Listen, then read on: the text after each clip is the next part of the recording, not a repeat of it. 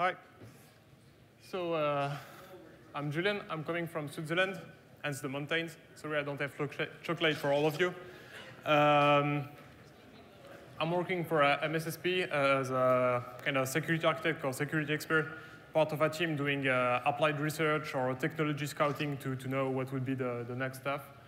Um, I'm going to talk about iOS malware, but the name of the company sounds like one of the AV vendor, but I'm not related to, to AV vendor, so it's not to sell you a new uh, product. InfoSec is uh, close, but uh, not in this building.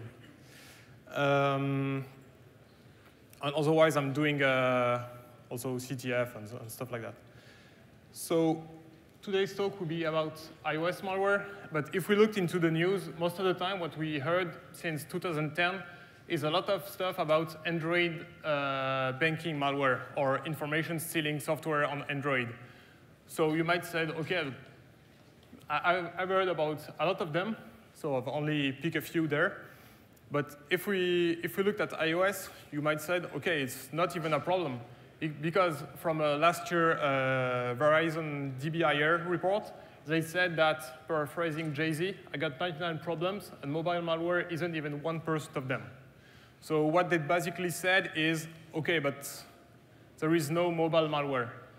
And they, I highlighted something that is really hard to read. But what they said is, uh, all the suspicious activity related to iOS malware was in fact a false positive triggered on Android devices. Uh, so this is their point of view. Um, I tend to think that they might have um, some kind of uh, bias into the, the, information that they had, because if you looked at all the companies working into their, uh, the, the report that they build every year, there is not that lot of uh, uh, company into uh, Asia. There is a lot of European and US companies, but not in, in, in Asia. This is where actually most of the iOS malware uh, are spread in, into the, for the moment, so publicly. Um, so it's more widespread than we, we might think. And the, the more at risk might be uh, companies, especially the high profile ones, uh, where you might have some, some type of attacks. So if we looked, there are still uh, some types of uh, iOS malware that has been uh, published or discovered through the year. The first one was in 2009. It was named iKee. The idea was actually kind of a ransomware, but uh, what it did was uh, lock your screen and change your password, so your passcode. And if you don't, didn't pay uh, five bucks, then it will not unlock your password. How it spread? It was a worm, and it spread by using the default SSH account on iOS 1 when there was the first jailbreak. So, and the problem is that once you're even on a 3G or LTE network of operators, most of the time there is no segmentation between all the devices and you can directly access one another devices provided that you know their IP address. This has been the problem, has been uh, recently shown in the news, so last summer when uh, Charlie Miller uh, did the talk on uh, Jeep hacking, car hacking. I don't know if you, you've read the details, but what they did, they were able to actually access the, Jeep, the LTE modem of the Jeep because they were on the same provider network. So iKee was scanning for OpenSSH port, then it's connected and uh, using the root and Alpine credentials, and then uh, that was it. Um, then there have been some other one in 2012 and 2014 but it, it, was mostly some HAD-related stuff and uh, not that much, and it wasn't that much into the news. But starting in 2014, the end of 2014, we have seen a lot more of them, like Unflod, WireLocker, um, and then uh, we had a big one named Xcode Ghost that was in 2015, and that one made a lot of noise because it was also it was spreading through the modified version of Xcode. So uh, in the news, you, depending on which website you're, uh, you're reading from, you would say that Xcode was used to spread malware, but in fact it was a pirated version of Xcode that was used to spread this malware. Um, and what I found is that most of the time it's quite hard to differentiate what was possible using a jailbroken or a standard device. And that's why I made this presentation, is to try to make it more clear between the two worlds. And uh, actually, most of the stuff discovered since 2015, so Unflod WireLocker, uh, they have been discovered or published at least by uh, Palo Alto, and one of their researchers, uh, Claud Xiao, is doing uh, something great, is sharing all of the samples that they got to the community. So as I'm not directly related by my job into looking into malware, and I'm doing it at night, this is quite useful. And uh, it profits the, the community to, to share those, uh, those, those um, binaries so we can, uh, we can reverse them and learn from them. So just a quick recap on iOS security. The first thing that almost everyone uh, is aware of is that uh, the platform is quite closed compared to Android. It's not possible to self-sign your binary and push it into a device. So no, it's possible, but it's really new. Uh, it's something that you can do only from a, a few, few months, uh, actually, nearly, um, nearly one year. Uh, but most of the time, you have those type of, uh, of access. The first one is the App Store. Uh, everybody knows about it. You buy or you get a free application from the App Store. It's downloaded, and then you have the binary. Um, no, it's not the full binary. It's uh, so there is a application, so sinning, and then you don't have all the, the binary for all the architecture that has been downloaded onto your phone now. Then you have uh, deployment, which is called uh, in-house. This is when you have enterprise developed application. So it's true, the, as a developer for an enterprise, you have to sign up for an enterprise developer account, which is a little bit more costly. You have to provide a specific uh, a number for the company, register into the US so you can prove that you are actually a company. But it's not the hardest part. And then you sign it, and the idea is that you, by getting this uh, certificate, you will say that I will only deploy it within my company. So usually it's not supposed to be deployed uh, widespread. So uh, this is something that you might have known from your own company if you have a MDM and you're using iOS as a base uh, uh, devices for your, your employee.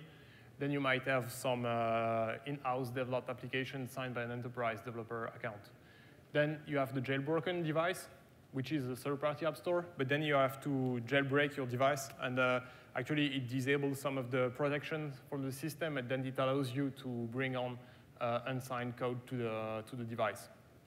Then you have a, a fourth uh, type of uh, deployment, which is named ad hoc. Ad hoc is to do some uh, debugging, because as a developer, if you only have your device, it's uh, not that much, and you have, even if iOS is less fragmented than Android, you have various uh, version of the, the OS, you have various version of the phone, so you might want to check uh, that, for, that it works for everyone, and also get feedbacks as a developer.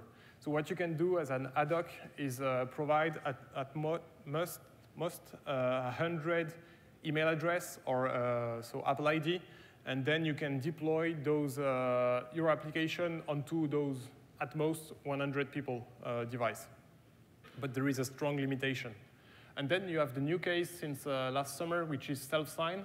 So using Xcode 7, now what you can do is request a self-signing certificate, and then you need to assign, to, so to really pair your device, not only pair like uh, you can access it through iTunes, but you have to say, actually state that your device is now acting as a developer device, and then you are able to uh, develop and sign your own application. You still have to, to have a Mac to, to do so and use iTunes.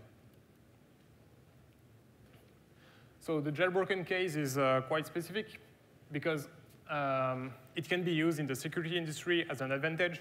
Uh, I used to do uh, pen testing and uh, especially mobile application reverse engineering uh, to check the security vulnerabilities and uh, that everything is, uh, was, was secure, either for the, the customer for a custom build solution or for a commercial solution that they want to, to use to assess the security. So it's quite useful because if you don't have a jailbroken phone, you have uh, a lot of limitation. For example, all the binaries coming from the App Store, they are encrypted using a light DRM, but it's quite enough that if you get the binary signed, you, uh, encrypted, you cannot decrypt it by, by yourself. So if you have a jailbro jailbroken phone, uh, it's quite easy. Uh, the packer is uh, really simple. You set a breakpoint. Once the, the code has been decrypted, uh, then you run the binary. The system will decrypt your, uh, your, bi your bi sign, encrypted binary, and then you dump all the code from the, the, the, memory. It's quite, quite easy, and then you have the, the clear text binary. Um, that's why it's quite useful uh, in the security industry, but there is one drawback, one major drawback, is that it disables code signing uh, validation. So for some people, it's a good point because then you are able to get some free stuff out of other app store. You can install Tweak, you can install uh, uh, pirated copies of, uh, of some application, which is bad.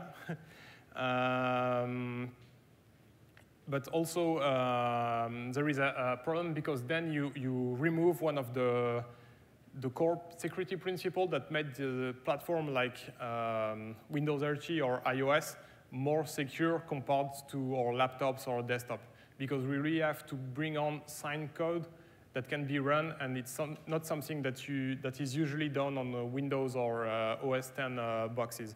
I don't know if many of you have deployed AppLocker within their company, but uh, from my experience, at least in, in uh, Switzerland and France, uh, there is not a lot of them. So it's something that whitelisting application is not something that people tend to do because there is a lot of uh, work that you have to do in the background to enable new version of the application and do some, some stuff. So that's really one of the core principles of iOS or Windows RT was doing the same. And unfortunately, it's been stopped. Uh, but those are uh, core principles.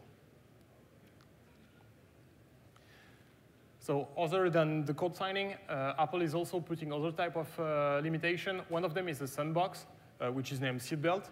Uh, the idea is then every code coming from the App Store or any code running on the device has to be to going through a sandbox environment. So it cannot do anything they want. So Android does that by using a various um, user, and then is using um, the, the, the, basic uh, user segmentation based on any Linux, that if you don't have the rights for a specific uh, folder owned by another user, you cannot access it. That's how they do the, the segmentation between all the application. Uh, within iOS, is different. You have seatbelt, and then you have like a firewall which is in place for the syscall or some specific function call. And if you don't have the correct uh, privilege, you cannot call this API, you cannot call this syscall. Uh, it's as basic as that. And that's how they do the isolation for all the, the application. When you request an access, you have to bring it like part of your manifest. So you have to declare a specific file, which is an entitlement, and then you fill in all your entitlements. For example, if I want to access the calendar, I have to add the specific entitlement saying the, I want to access the calendar. And then Apple will, re will review those entitlements, and there are some specific types that are disallowed into the App Store. So this is a basic check. If your application is, is requesting the entitlement to install another application, because it does exist, uh, it will be rejected by the App Store. And this is something quite easy for them to, to perform as a check because there is no obfuscation that you can do in this part because it's a, a XML, so plist file, XML or binary XML file. So there's really no obfuscation that you can do uh, at that time. So this is something that you can do. On top of that, uh, the sandbox seatbelt is supposed to um, prevent you, as I said, to calling API that you don't have access to. But there are some limitations. Uh, maybe you have seen in the news, like two weeks ago, I think, uh, Stefan Esser, uh, one researcher on iOS, he published an application uh, for uh, two bucks something uh, in order to, to check if your device was jailbroken or not, or if you had suspicious application running on your device. what he did to, to do that was to actually um, take advantage of holes into the, the sandbox to call some uh, API that weren't supposed to be allowed. Like listing other processes is something that you're not supposed to be able to do on iOS uh, if you don't have the specific entitlement, but still you find a flow that if you call a specific API you can, you, that is not well protected, then you will, you will, uh, you will get access to, to, to this information. So if we look at malware, uh, basically it gets to one root cause is people get infected. Uh, so most of the time for the iOS world uh, or mobile world as, as, uh, as a whole, it's uh, to lure user into installing the, the application, the malicious application. So what, what the attacker will do is send a link or a message uh, with a download, download link, and then the user will click on the link and it will install the application. Um, I used this in a phishing campaign for a customer when I was doing pen test. And uh, I developed a small application saying that uh, in order to win a holiday paid by the company, you have to enter your AD credentials into the application. And then I had a 10% conversion rate of the people who downloaded the application and entered their AD, so Windows AD, Windows domain, uh, credential into the application. Because I was I say that it was a game, and if you didn't enter your credential, we cannot check that you were part of the company, so you cannot enter the game to, to play it. So 10% is not that much, but still it shows that it, it proves that uh, people are doing or installing this type of applications. You would say that mostly on Windows, what attackers are using is watering hole attacks, and they are exploiting vulnerabilities within the browser. It's something that is also possible on iOS, like on any OS, since you have code, you have parsing code, then you have possible flows, so it's not something to rule out. But uh, remote code execution on iOS are quite expensive, in sense that, at least publicly, there are not a lot of them. And uh, if we looked, okay, it's maybe also a peer stunt, but what Zerodium did is uh, offer $1 million for a remote code execution on iOS. So it's a bit of a peer to, to get people uh, talking about them. But it clearly showed that if there were so many remote code execution on iOS, it's not something that, uh, that they will price so high. So there is quite um, the, the initial infection point for an attacker is not that easy if you don't go through the social engineering part. Then once you're onto the device, there is not that much public, but there is still a lot of vulnerability that allows you to evaluate, uh, to, sorry, to elevate your privilege on, on uh, the iOS using vulnerabilities within the kernel, within the module that is loaded by the kernel, or any privilege code. Otherwise, if you don't want to, to send a link, what has also been done, I've seen in the presentation uh, at various conferences, um, at least it was in, in Asia, what did was uh, some um, uh, provider were attacked onto the DNS, and the attacker reroute the DNS traffic, and then they, they uh, pushed their malware into the web page that was supposed to be loaded. So they injected the, the, the link that way. Uh, otherwise, what I've seen also, what has been reported, it was in China as well, is uh, moving with a, fake eNodeB. So eNodeB is for LTE, so it's not possible to have a fake uh, eNodeB in LTE, but it's possible in, uh, in a 3G. So in 3G, if you have a fake radio interface, uh, there is no mutual authentication between the device and the, the, the, the, the radio interface. So what you can do if, if I'm emitting a signal stronger than the one provided by uh, any uh, mobile telco, uh, then the phone will connect to me. Then I'm not able to do the full connection uh, to, to the, so I'm able to do the full connection to the telco. And what I can do as well is also push the binary onto the traffic. So that's also one way that people got infected. Then you also have physical attack. Um, one feature is called Mobile Device Framework. It's a feature from iOS. It's what allows you, when you plug your uh, iOS device onto your Mac, PC, Linux, it's a framework, so a library that allows you to push application, to push files onto the device. It's uh, built-in, but there are some unknown uh, stuff. It allows you to install application, and it allows you to do some uh, process listing and to do some stuff like installing application can be seen also as malicious. Because one idea would be, as an attacker, you compromise the host, so the desktop, and then once the desktop is compromised, once an iOS device is plugged in, you generate a piece of code that will push the, the malware onto the iOS device. That's one way to, to install it. But it's not working only as USB, it's also working through Wi-Fi. So once your iOS device is paired with your uh, desktop or laptop, once they're on the same Wi-Fi network and has been paired before, then you are able as an attacker to push your code in, uh, through the device. And last summer also at uh, Black Hat, I guess it was, there was a vulnerability uh, in AirDrop um, that allows you, if you're within reach of the Bluetooth signal of uh, an iOS device, then uh, someone can send you an iOS application that will be installed automatically once you reboot your phone because that was a, a flow within uh, AirDrop, and you didn't even have to accept the, the incoming file. Then you have a third type, which is code injection. There's been an article by FireEye, um, I guess, onto that. Uh, for example, there is a library for iOS that is called JSPatch. And uh, from JavaScript, you can call uh, Objective-C uh, methods. And uh, what some developers are doing is uh, to hot patch some application. They are using JS patch, so they get from the web, they download piece of code, and then they hot patch their application, their binary. So it is something that can be seen as quite useful because then you will, uh, you will be able to patch your binary. But then if, for example, this is done in clear text, so not in SSL, and you do it from a Starbuck, then if an attacker uh, intercepts your traffic, then he will be able to push his JavaScript code within your application. So this is an example with uh, an application from, uh, it's a defensive application from uh, Zimperium. What they did was develop a small application from, for Linux that will use actually this mobile device framework and will activate the um, installation proxy on the iOS device and we'll retrieve the list of all the installed application and then try to match the list of installed application against a blacklist of uh, application bundle.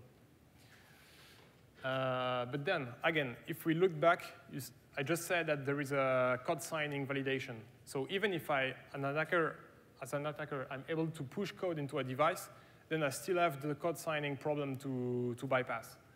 Uh, on jailbroken devices, that quite easily, because there is no code signing uh, done anymore. But on a standard device, uh, that's still a problem. Uh, so what I could do was sign my application as an ad hoc developer. But then I'm limited because I can only target 100 people. And then I need their uh, email account, so iOS information.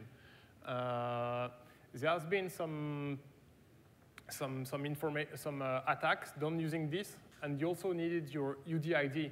Uh, but now access to the UDID is blocked to application by Apple, so it's not something that's been uh, that's possible anymore. Uh, really, if you if attackers are doing a really narrow and targeted attack, they might use this technique, but it's not widespread, at least uh, at the moment. Another option is to use the enterprise developer certificate. Because if you have an application that is signed with such a certificate, then you are able to install onto any device.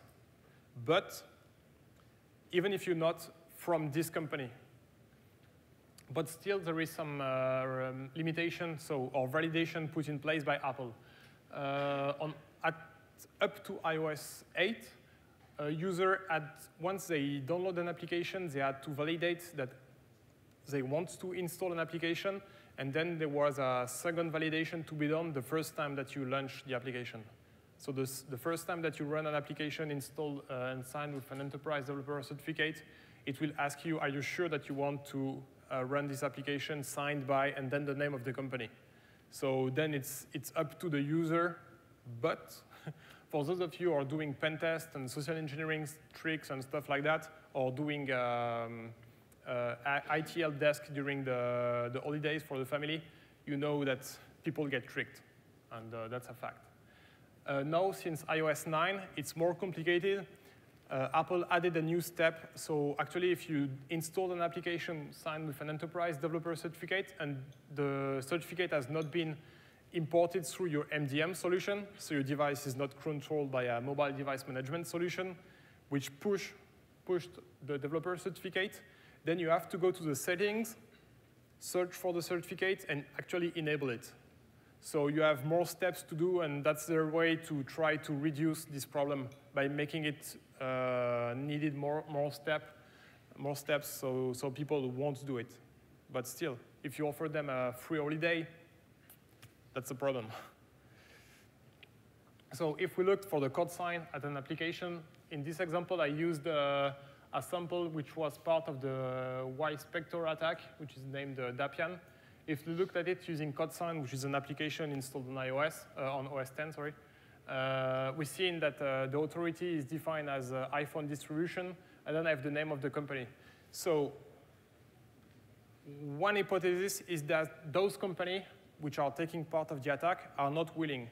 What happens is apparently that the attacker are hacking into those companies, stealing their signing certificate, and then they are signing their malware with the enterprise certificate from this, uh, this company, and then spreading uh, to user. So this is something to take care uh, if you into information security for an end customer. Uh, your uh, signing certificate are part of your assets. Because if someone breaks into your, uh, one of your developer accounts, and then he's able to download the signing certificate for the whole company, then he's able to develop a piece of code that is, will be trusted on all your iOS devices for, for the company, or even further. And then you have a media impact that you have to, to handle.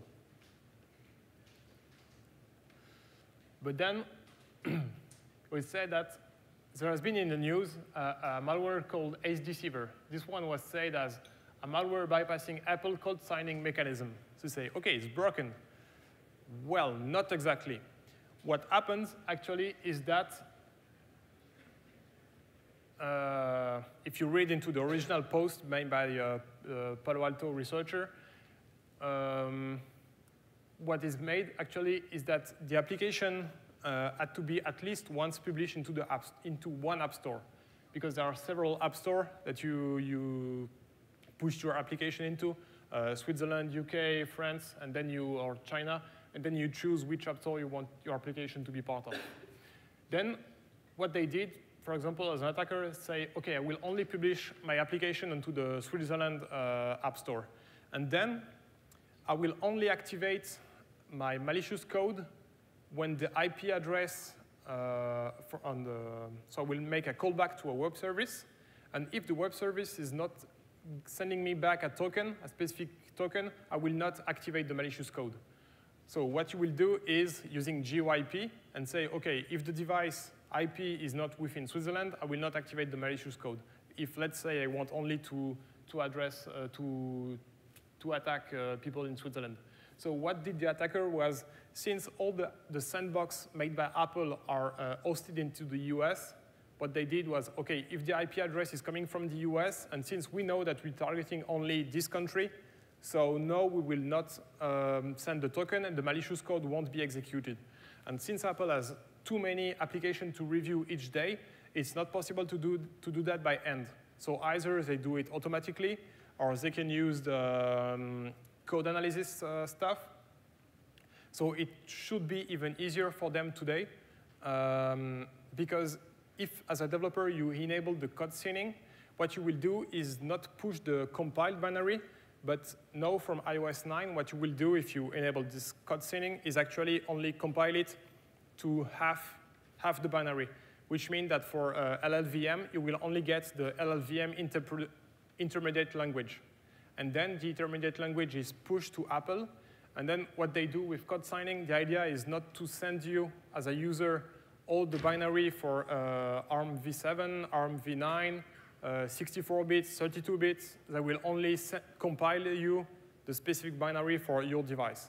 And that's why they did, so they take only the, um, the represent intermediate representation and then compile the application for a specific uh, piece of code.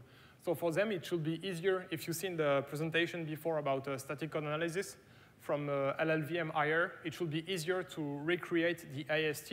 And then from this AST, so the, the, um, the, the, the code tree, code tree of the application, uh, then to see if a malicious application is called or if something malicious happens. But still, there is many ways to do, to do obfuscation on iOS, especially since the language uh, Objective-C is uh, reflect, reflective.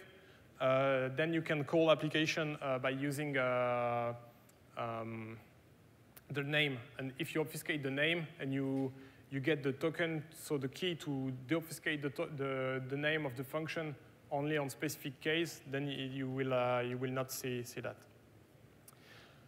And in the case of Ace Deceiver, what they did then was, on top of that, what they did, so their binary was pushed at least once by Apple. But then once Apple revoked those applications. So it, was not anymore on any store. But still, one, they, the, the, the attacker had one of their binaries signed by, uh, by Apple.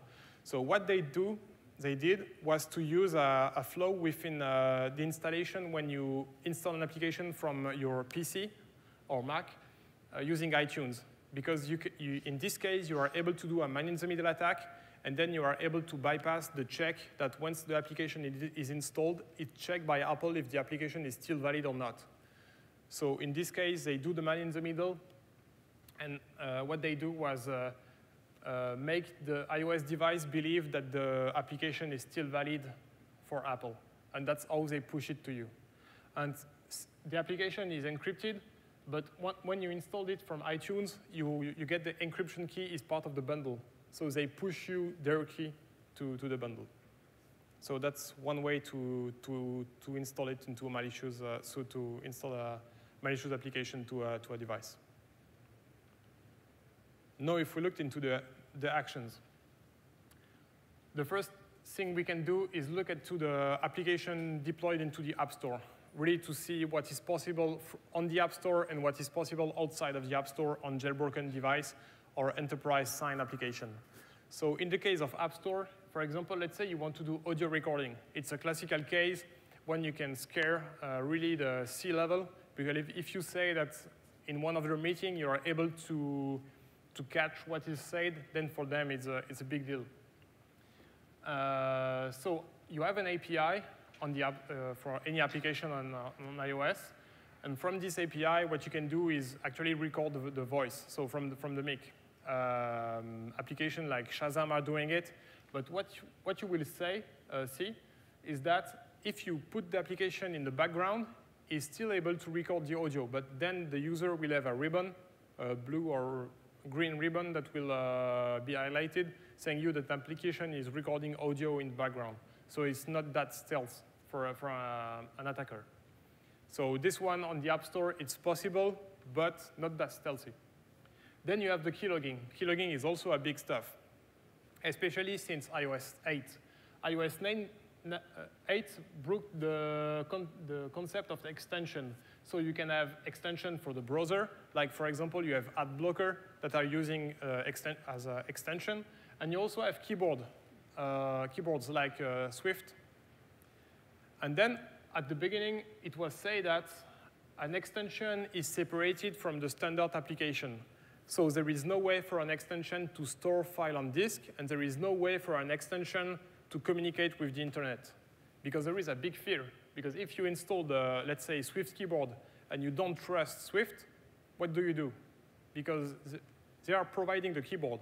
So there is one stuff that is put in place by Apple.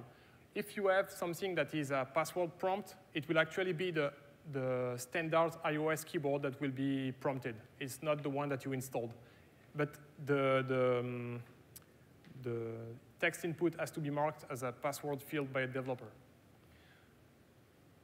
But there is also a problem, is that they say, okay, but it's too complicated. Let's say that the application would like to, the extension would like to access the internet, so he's able to send what you type, do some machine learning on it, and then do some text prediction to get you more words uh, easier. And actually, that's what SwiftKey is doing, or uh, other extension like it. So then, if you go into the settings and allow full access for an extension, then the extension is able to access the file system and access the internet. So now, everything that you type into this key keyboard can be sent to the outside world. And actually, that's one of the tricks that use a uh, hacking team in one of their uh, tools for iOS. That's how they, they did it uh, with a sign application. Then there is the private API. Okay, this has been in the news last year. Uh, more than 200 iOS applications. They are stealing information. They are using the private API. What is the private API? So actually, it's only stuff that has been forbidden by Apple. In the developer contract, they say you shouldn't call everything that is private. So it's symbols that are not directly published or uh, that are not documented. Um, but still, it should still be into the sandbox. So all, all of the calls to the private API should be blocked by the sandbox by, by default. But as I said before, there has been some flow into the sandbox, and now Apple needs to be getting around all those, uh, those flow. Um, those, uh, to, to get access to a specific um, call, as I said, you need an entitlement. Uh, like I explained before, you need to define, uh, to say, okay, I request access to the calendar, I request access to the address book. There is a whole list that can be found on the new OS, OS 10 book. Uh, the, the, the, guy writing this book made a, a whole list, and then you can see on a base system, base iOS uh, system, which application is using which entitlement. Uh, this is validated by Apple and then enforced by Seatbelt. So private API does not mean that you can break out of the sandbox. It's not that simple. Still, there has been some flow, but it's not, it's not that easy.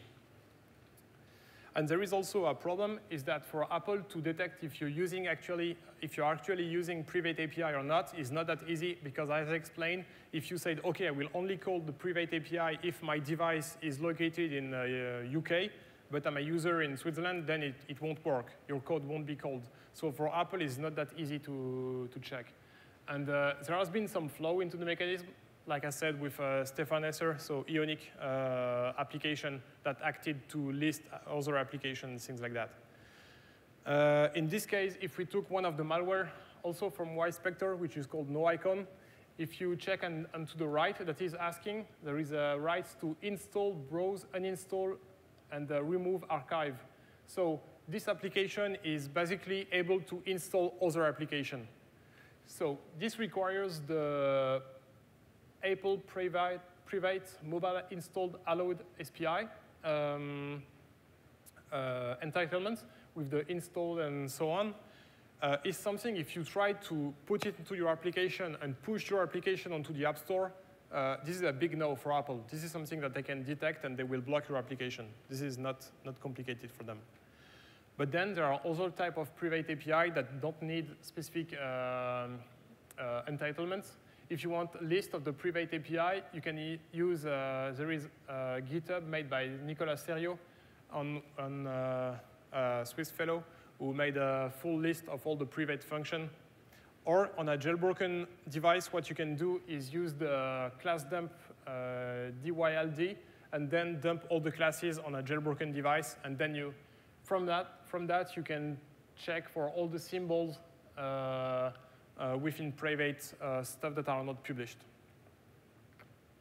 If you want to call private API, it can be called either directly, it can be done through DLOpen, DLSym, if you developed it in uh, C, and then otherwise use Objective-C.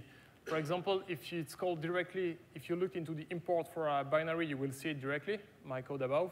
And then if you're using reflection, what you can do is I'm using actually the string, and I'm building, like in Java, in Objective-C, you can use reflection, and then you're able to get a class from the name of the class, and then get a pointer to a method owned by a class by using its name as well. So in this case, I've put all the, the strings in clear text, but an attacker, they can obfuscate those strings. So simple XOR or uh, ROT13 or stuff like that. In the case of an in-house application, is different because entitlement won't be checked by Apple since it's not going to the App Store. So if, you, if as an attacker you are able to sign an application as enterprise developer certificate, then you put anything you want into your uh, code, into their entitlements. And that's how they are able to make malware that are able to install other application into the, the, um, the device, even if the device is not jailbroken and then it allows you more possibilities. That's what was using by the YiSpecter attack, for example. They are able to access the IMSI and IMEI of the terminal, and that's why they said that it, the application are coded by uh, getting private information about the user. Because if you know the IMSI and IMEI of a user, you have, uh, it's pretty strong to identify someone. Uh, you can also install application and access other private information like the MAC address of the, the device. And if you get the MAC address, then you can also infer some, uh, some stuff about the, the guy. Now there is also another type of, of malware, which is non-application based. Maybe if you're using iOS devices and you have mobile device management solution, you're pushing profile, configuration profile onto your device. Most of the time is to configure the email access, is to configure the VPN, to, to install corporate certificate onto the devices, but as an attacker, it can also be seen or used another way an attacker can use configuration profile to install a proxy and say to the iOS device, from now on, you go through this proxy. And also, it is able to install a, a new CA. So if you go, even if your application is using a, a SSL or TLS, if the CA is installed and the application is not performing a strong validation of the, the certificate, uh, then is able to even get access to your uh, SSL TLS communications. And then also you can install something, uh, the certificate to deploy application later on. So this has also been seen in the, in the wild. Now, quickly the protection and detection. So detection is not that easy as, uh, as on uh, standard endpoints like uh, Windows and Mac, um, because the, the, the, system is, there is less privilege, uh, so the privileges are more strictly enforced, and you cannot develop something like on Windows, most of the AV or Linux, they are running uh, using a kernel module. But on iOS, you can come to Apple and say, okay, I've developed a kernel module to do an anti-malware uh, solution. They won't say, okay. But uh, yeah, we have the application whitelisting, so we don't need that. So basically, there is no way for uh, someone at the moment to publish such a code. So that means that the AV ran at the same level as the malware. So this is a bit of a trouble. On the network side, this is even more complicated because on standard devices, you might say, OK, I will use uh, my IDS, my proxy logs, my, uh, anything that you have on, onto your uh, network monitoring uh, stuff onto your network. But the problem with mobile devices is that they're mobile. So they might connect from the, the conference, they might connect from the Starbucks. So there is a lot of points that you might not cover. So one idea will be to have an always-on VPN. Uh, there are some provider doing that. Uh, and then you route all of your traffic to, uh, using the VPN through your IDS, but your IDS is uh, published so through the VPN. This is one way to do it, but then you have a problem with the, if it's a bring your own device, it also means that the user, everything they do will go through this VPN. But then you have also container, like a good or other type of container, Sysmosoft, then they are doing specific uh, flow only for, um, for the application. They are setting the VPN only for applications. So if you want the IDS-like feature, uh, I've looked, for example, but it comes back to one year ago. I looked into what was presented into emerging threat uh, type of uh, IDS alerts, uh, the rule set that they provide for Suricata and uh, Snort. But from the, they have some mobile malware type of rules, but mostly they are only for Android. So there are not a lot or any of them for iOS. Um, I may be wrong in that. And there are other stuff like Lookout, who is doing also uh, threat intelligence into this area. Uh, then what you, will what you can also do from an IDS is to detect non-corporate configuration profile.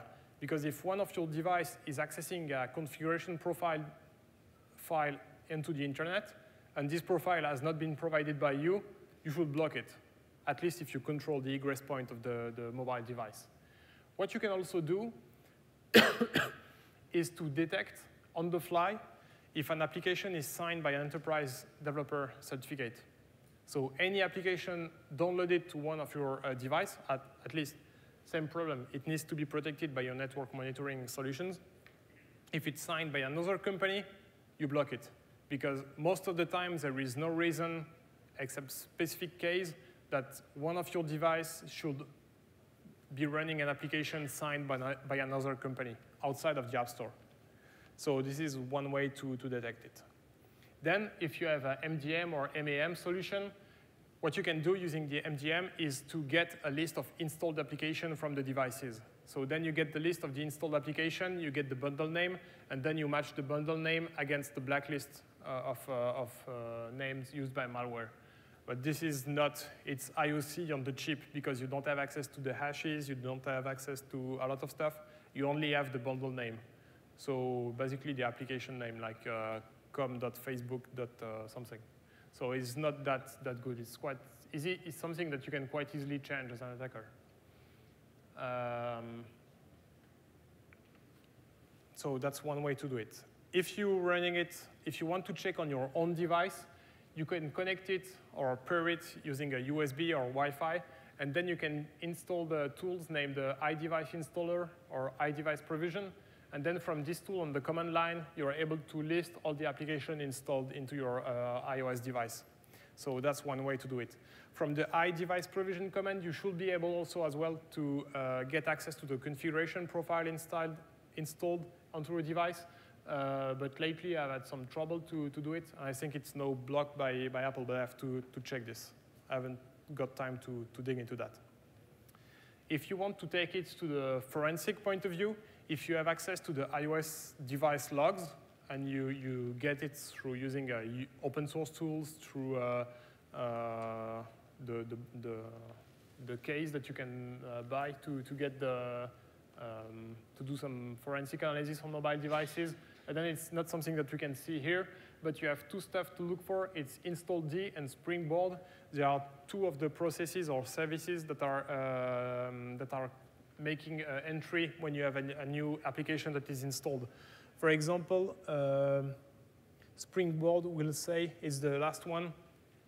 It said that uh, installed application did change. So if you have this type of information, that at least that allows you to know that, okay, the guy got infected at that time. Then, if you have also access to a backup of those devices, uh, you can infer stuff from, a, so let's say, side channels. Like, for example, the battery usage or the data usage. Because you have uh, logs in form of uh, um, um, SQL, uh, SQL database onto the device. And in those uh, databases, you have uh, the battery usage, the data usage, and all other type of uh, statistics that are already um, made by applications. So if suddenly you, you get access to a device that you, you think is compromised, and you have a battery usage for a specific application that you don't know about, this is some, something fishy, and that gives you hints to, to, to get. Uh, and then it also gives you the last executed uh, information. So that's from the forensic point of view. But then there is a problem with the acquisition, because then if you want the binary, it's something more difficult. For example, if you get something from the App Store, it's encrypted. So before, uh, up to, so before iOS 9, if you made a backup of your iOS device uh, using iTunes, you will get the binary uh, for the application installed into the App Store. But now, since there is the app scening and all type of stuff, no, Apple is not providing the binary within the backup. Uh, it's not anymore there. But even it's um, App Store application, so they are encrypted. You, you cannot access the code. So even if a malware was from the App Store, you, weren't, you would not be able to, to access his uh, code and to analyze it, except if you have a jailbroken device uh, from, to begin with. But now there is a problem with enterprise signed application because enterprise applications are not part of backups since the beginning. It's stated into the documentation from Apple, application that you have developed in-house or distributed to your user with enterprise provisioning profile won't be backed up or transferred to your user computer. So there is a big problem because if you want to do some forensic and analyze what is going on, if you don't have a jailbroken device that you infect and then you retrieve all the binary, all the information, but you have a, a user that got infected, then you have a, a big problem to be able to extract the binary to, to analyze it. Maybe what we can see in the future are uh, scanning kiosk using USB. So when you're walking into the, uh, the um, like you have with USB key, you have this type of this uh, kiosk where you plug in, plug in your USB key that you got at InfoSec, for example, and then it will run uh, multiple malware on it, um, AV, sorry, and they try to detect malware. We might see the same stuff for uh, iOS devices maybe in the future, uh, or maybe an AV for workstation that will say, okay, we have a new feature. It, now we're scanning your iOS devices as well. For Android, is more complicated because then you have to have uh, ADB enabled, and enabled ADB onto a non-developer device is not something that is recommended. Now, about the protection, the first one is quite easy. Uh, update your devices, but then you will say, okay, we don't know if it's supported, if it will crash my device. And then you have the hardening. So what you can do as an end user on the hardening side uh, are the best practices.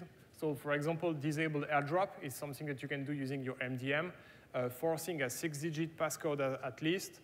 And one of the most important stuff could be to actually do some user training and uh, tell them that if you install an application that is signed by another company, it shouldn't be installed into your, uh, your application. You should stop the process and call the, the IT help desk or the, the corporate security team as soon as possible.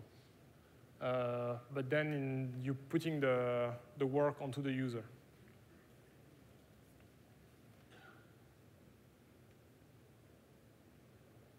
Okay. As I said in the beginning, uh, this is mostly, I've been able to reverse engineer those binaries because I got access to them. And since I'm not actually um, uh, performing active research on, on this, uh, this malware, uh, looking for uh, on websites for binaries and stuff like that, uh, it's mainly due to, to this Palo Alto guy that I got access to, to them. So that's it.